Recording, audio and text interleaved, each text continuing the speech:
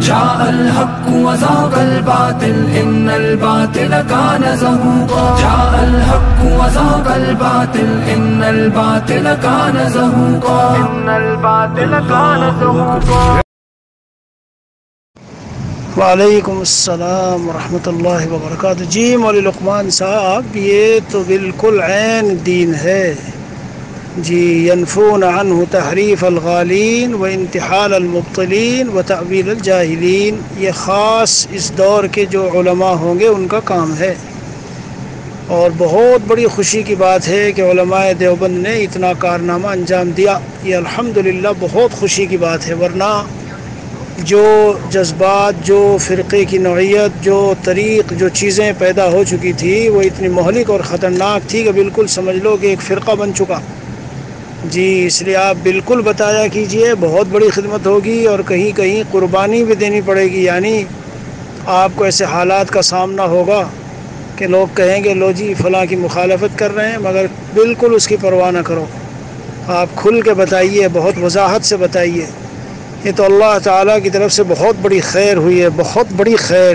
یعنی میں دل دل میں کرتا تھا کہ کاش علماء اہل دیوبند اٹھیں اور اٹھ کر کے جماعت سے متعلق کوئی ایسا اجتماع کریں، کوئی بہت بڑی کوئی ایسی کانفرنس کریں یا کچھ کریں کہ جس میں اس کے نظریات جو موجودہ پھیل رہے ہیں، ان کو کھول کے بیان کیا جائے۔ ہاں تو یہ تو ہوا، تو تو من جانب اللہ بہت بڑی خیر ہوئی۔ اور اللہ تعالیٰ نے علماء دیوبند کے ذریعے کام لیا، تو لوگوں کو اعتماد بھی ہوگا اور بھروسہ بھی پیدا ہوگا۔ اس لیے آپ ضرور بیان کیجیے۔ لیکن رہ گئی دوسری بات، شرکت کی تو جماعت میں شرکت ضرور رکھنی چاہیے۔ تعاون، جانا، آنا، ان کی مدد وغیرہ، یہ سب سلسلے رکھنے چاہیے، اس لیے کہ یہ تو فرد واحد کا معاملہ ہے۔ جب وہ نظریات کھل کے سامنے آ گئے، یہی ہمارا صحیح علماء کا اور اکابر کا مسلک اور موقف ہے کہ جماعت کی مخالفت پیش نظر نہیں ہے، بلکہ جو شخصی نظریات اس طرح سے پھیل رہے تھے، امت میں جو بالکل شریعت کے خلاف تھے۔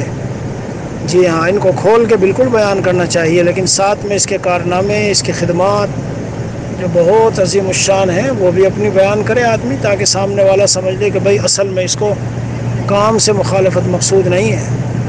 یہ بالکل ایسے ہے جیسے شادی میں شرکت جہاں رسومات ہو، تو مقدم مؤخر اس کے پاس آگے پیچھے چلے جانا چاہیے۔ تاریخ سے پہلے، تاریخ کے بعد کچھ حسن سلوک کر لے، کچھ ہدایہ دے دے اور اس دن غائب ہو جائے۔